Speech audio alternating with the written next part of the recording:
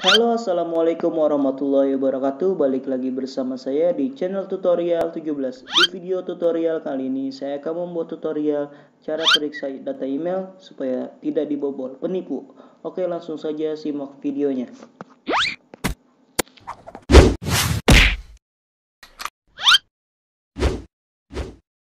Oke sebelum memulai tutorial jangan lupa ya klik subscribe dan aktifkan loncengnya. Terima kasih Oke, langsung saja memulai tutorialnya. Pertama-tama kalian harus masuk ke aplikasi Google Chrome. Langsung aja klik aplikasi Google Chrome ya. Nah, di sini kalian search atau cari untuk masuk ke website pencarian data.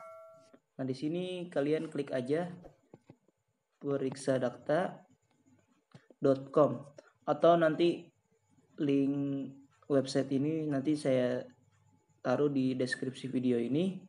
Langsung aja kalian klik aja periksadata.com. Klik. Nah, ini aplikasi atau website periksadata.com untuk melihat email kalian apakah sudah pernah dibobol atau belum. Nah, di sini kalian masuk aja email kalian. Oke, sebagai contoh saya akan masukkan email pribadi saya. Klik Nah, langsung aja klik periksa.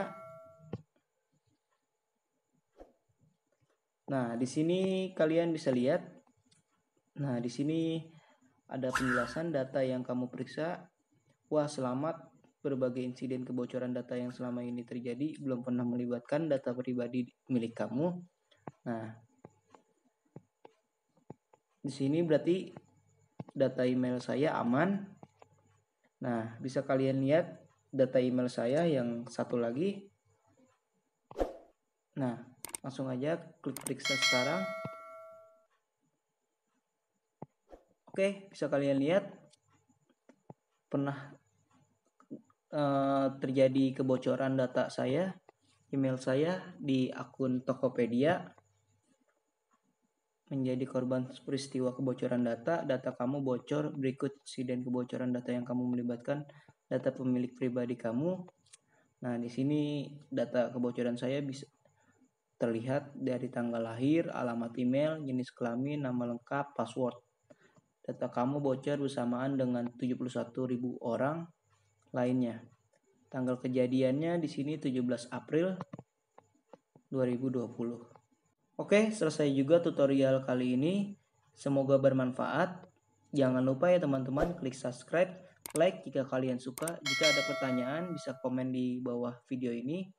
Jika video ini bermanfaat, share ke teman-teman kalian. Oke, sekian tutorial dari saya. Terima kasih. Assalamualaikum warahmatullahi wabarakatuh.